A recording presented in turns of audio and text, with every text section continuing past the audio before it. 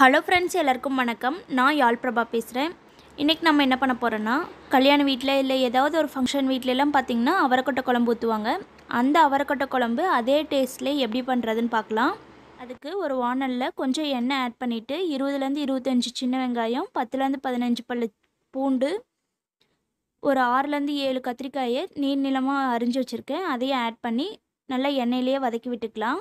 அடுத்து மசாலாஸ்லாம் ஆட் பண்ணிக்கலாம். கொஞ்சம் மிளகாய் தூள் கொஞ்சம் மஞ்சள் தூள்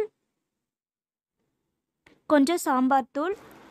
இது எல்லாத்தையும் ஆட் பண்ணி நல்லா மிக்ஸ் பண்ணி விட்டுக்கலாம். அது கூடவே கொஞ்சம் கல்லுப்பு ஆட் பண்ணி நல்லா கலந்து விட்டுக்கலாம்.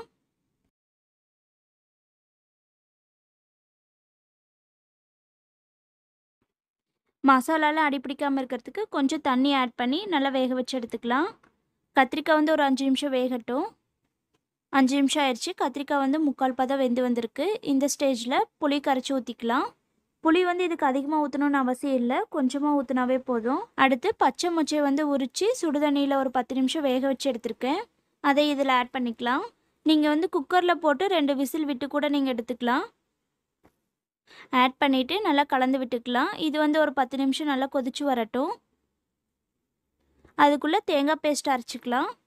பத்து நிமிஷம் ஆயிடுச்சு குழம்பு நல்லா கொதிச்சு வந்திருக்கு. இந்த ஸ்டேஜில் தேங்காய் பேஸ்ட் ஆட் பண்ணிக்கலாம். இந்த தேங்காய் பேஸ்ட்டில் பார்த்திங்கன்னா பத்து பல்லு தேங்காய் ரெண்டு கிராம்பு கொஞ்சம் சின்ன சின்ன சைஸில் ரெண்டு பட்டை கொஞ்சம் சோம்பு கொஞ்சம் பொட்டுக்கல்லை ஆட் பண்ணி அரைச்சி எடுத்திருக்கேன். அதை தான் இதில் ஆட் பண்ணியிருக்கேன்.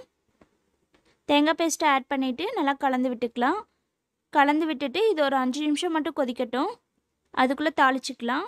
அடுத்து தாளிக்கிறதுக்கு பார்த்திங்கன்னா கொஞ்சம் எண்ணெய் சின்ன வெங்காயத்தை சின்ன சின்னதாக கட் பண்ணி ஆட் பண்ணியிருக்கேன். கொஞ்சம் பூண்டு கருவேப்பிலை ரெண்டு தக்காளி கட் பண்ணி ஆட் பண்ணி நல்லா வதக்கி விட்டுட்டு அந்த குழம்ப வந்து ஒரு ரெண்டு கரண்டி இதில் மொண்டு ஊற்றி நல்லா வதக்கி விட்டுக்கலாம்.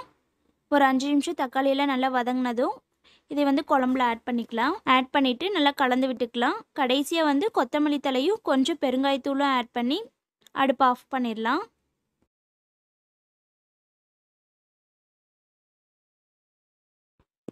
அவ்வளோதான் நம்மளுடைய அவரக்கொட்டை குழம்பு ரெடி ஆயிடுச்சு இந்த வீடியோ உங்களுக்கு பயனுள்ளதாக இருக்கும்னு நினைக்கிறேன். அடுத்த ஒரு இன்ட்ரெஸ்டிங்கான வீடியோவில் உங்களை சந்திக்கிறேன். அது வரைக்கும் பா